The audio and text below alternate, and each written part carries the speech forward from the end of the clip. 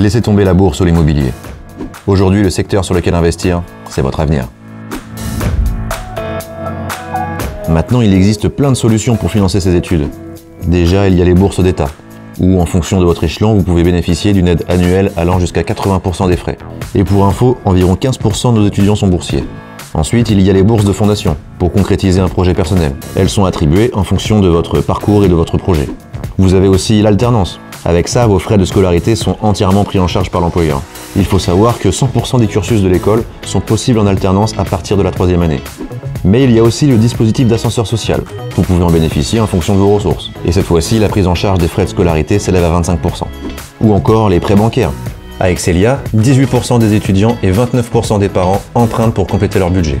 Alors, il y a plusieurs types de prêts. Le prêt bancaire avec caution parentale. Grâce à des partenariats entre l'école et des agences locales, vous pouvez bénéficier de taux avantageux.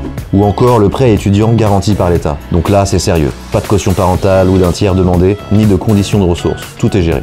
Surtout, ce qu'il faut savoir, c'est que toutes ces solutions sont cumulables. Si vous souhaitez obtenir plus d'informations, vous pouvez consulter les documents annexes, visionner les témoignages ou nous contacter directement. À bientôt